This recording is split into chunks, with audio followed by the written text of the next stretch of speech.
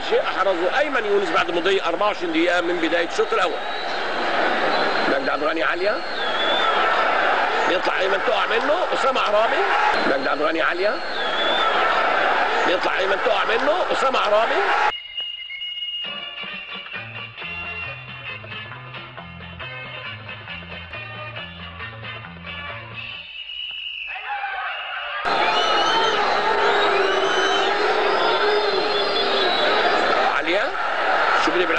طول توصل لإسماعيل يوسف تلعب من حمادة. جول أيمن يونس بيجيب الجول الأول لنادي الزمالك. أيمن يونس بيجيب الجول الأول لنادي الزمالك.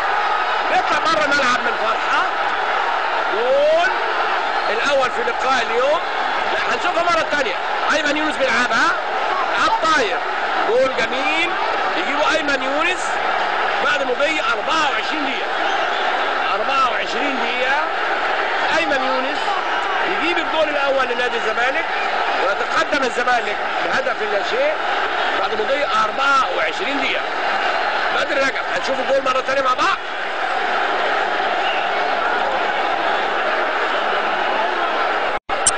حكم ادى ضربه مرمى ورجع استشار المساعد بتاعه فاداله ضربه ركنيه لعب.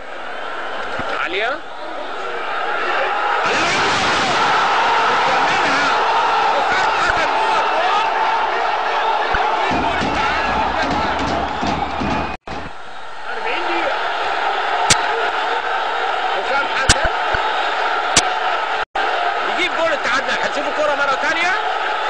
حسن بيكملها جوه الجول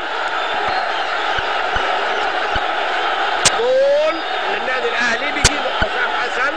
من ضربة ركنية على لعبها على ميهوب توصل لحسام حسن بيكملها جوه الجول بتبقى النتيجة واحد واحد. كرة هنشوفها مرة تانية. على ميهوب لعبها. حسام حسن بيكملها. ايمن طاهر معذور في الجول اللي جه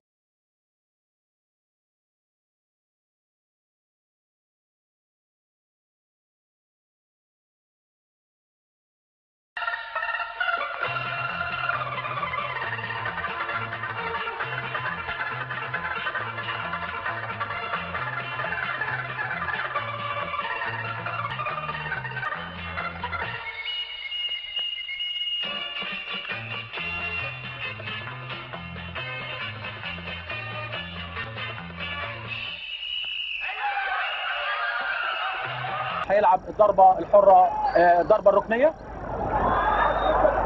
أرضية تعدي يطلعها هشام يرجعها على عبد الصادق. و شمس حامد الهدف الأول لنادي الأهلي. أعتقد رباعي خط نهض نادي الزمالك إن في offside إنما الحكم آه، ال linesman ما رفعش وتوصل الكورة لشمس يحرز منها هدف النادي الأهلي.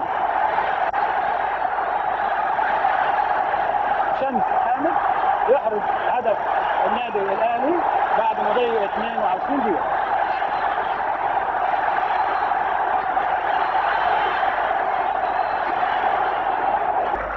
بدر حامد أمامية لرضا عبد العال.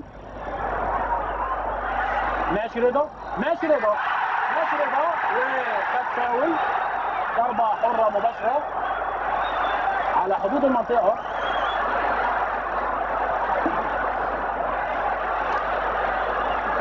هنشوف مين اللي هيلعبها.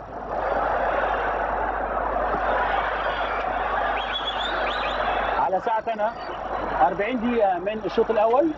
ولا زال الأهلي متقدم بهدف لشمس حامد أحرزه في الدقيقة 22 حمادة عبد اللطيف عرضية وعلي لإبراهيم يوسف. كده يلعب دماغه ويخش أحمد الشاذلي ويحرز هدف التعادل لنادي الزمالك في الدقيقة 40 الشاذلي في الدقيقة 40 ليتعادل الزمالك في الدقيقة 40 لسه بقول لحضراتكم إن نادي الزمالك بيحاول ونجحت محاولاته في الدقيقة 40 ويبقى كده الناديين بيكسبوا آه، نجوم جداد.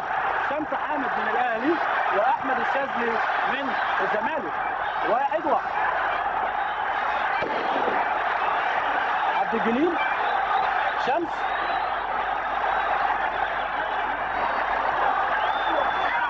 رضا على طول نبيل توصل لحمادة عبد اللطيف. ماشي حمادة. يلعبها لرضا عبد العال. وياخدها منه مرة ثانية ومعاه بدر رجب وفي صفارة ضربة حرة مباشرة لنادي الزمالك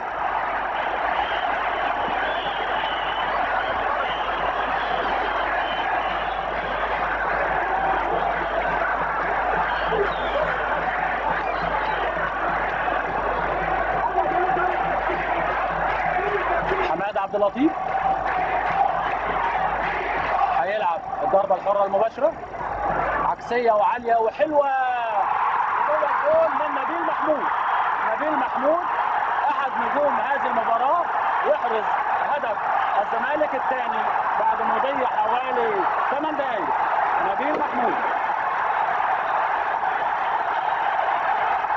نبيل محمود ياخد الكرة العرضية اللي لعبها حماد عبد اللطيف. ويلعبها على يمين اكرامي ليتقدم النادي الزمالك على النادي الأهلي بهدفين مقابل هدف.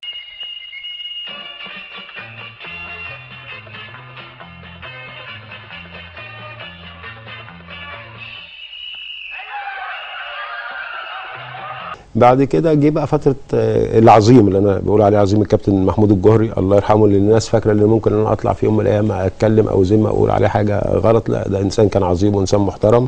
بس كان في اختلاف في وجهات النظر بينه وبين بعض المدربين في نادي الزمالك لأن ساعتها الدوري ما كانش بيتلعب بالدوليين فساعتها مدربين نادي الزمالك مش عايزين نروح المنتخب. عايزين مش عاوزين. آه مش عايزين نروح عشان عايزين افضل في نادي الزمالك عشان ناخد الدوري وناخد الكاس وكده. لأن كان ساعتها في الد- في الدوري هيتلعب بدون دوليين. إزاي؟